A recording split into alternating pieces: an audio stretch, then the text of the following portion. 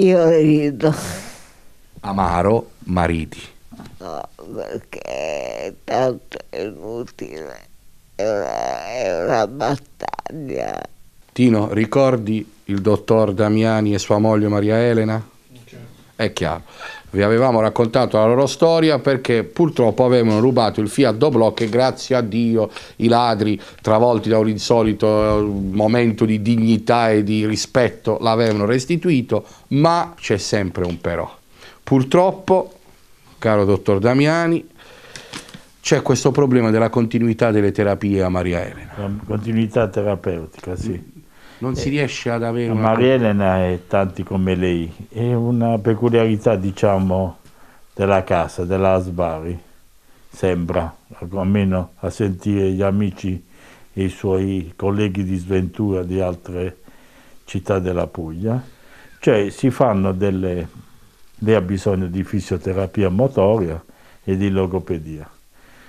Viene il fisiatra a casa o il neurologo, ordina delle prestazioni, 20, 24, finite, esaurite le quali queste sedute, poi niente, rimane senza in attesa di altra visita fiscale che come può se... avvenire anche dopo uno o due mesi, come in questo caso sta due, da due mesi oltre. Come se Maria Elena potesse guarire. guarire. Sì, perché vengono a controllare se quelle terapie hanno portato beneficio fino alla guarigione. Naturalmente, siccome la sua patologia, che è una sclerosi multipla, non guarisce, tranne sì, ci sono i miracoli. E allora ecco che accade che sono anni, anni, decenni di questo atteggiamento derivanti da precise volontà. Mi dispiace dirlo da medico, ma sono colleghi che secondo me hanno. Della, della stessa... Sì, vabbè, non ne parliamo, che poco hanno a che fare né con la medicina né col codice deontologico. Detto questo, finalmente arriva il neurologo e prescrive, oltre alla sua competenza, anche una logopedia. Viene, si rende conto, non la conosceva mia moglie, un collega, se volete lo cito in maniera positiva, dottor Calò, veramente persona degna che sa il suo mestiere, vede le, la situazione di mia moglie e, e conferma poi chiama in ufficio l'AS, la, diciamo ex CTO, la responsabile del servizio di abilitazione e al quale dice no, non puoi prescriverlo tu, lo deve prescrivere per forza il collega fisiatra. E siamo al 21 marzo Tino 2022,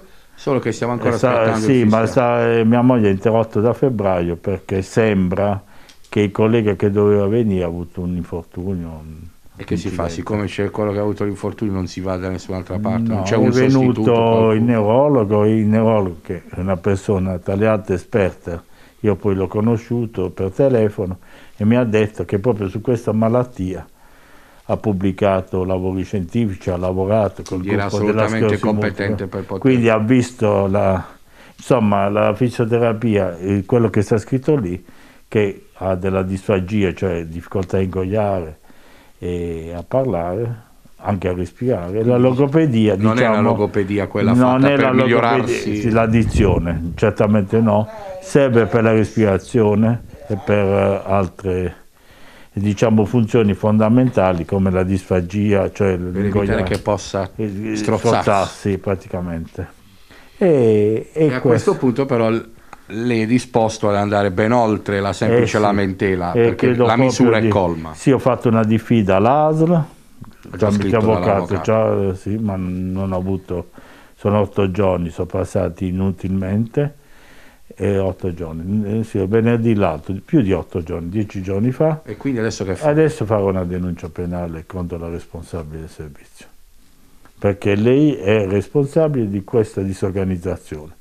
Non mi interessa più. Anche se scrivono 20 sedute, 30, devono essere senza soluzioni di continuità, perché non è né la fisioterapia motoria, non sono i massaggi di bellezza, non, non è un massaggiatore fisioterapista, un professionista molto ben preparato, devo dare atto che sono persone preparate, come il logopedista.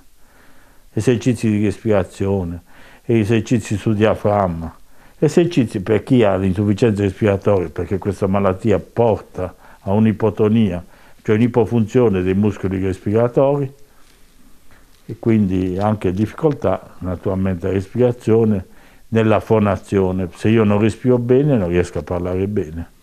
Maria Elena, in tutto questo... Io rido, io rido. Amaro Mariti. No, perché tanto è inutile, è una, è una battaglia. Io ad esempio la R non la riesco più a dire, E gli esercizi ti aiuterebbero.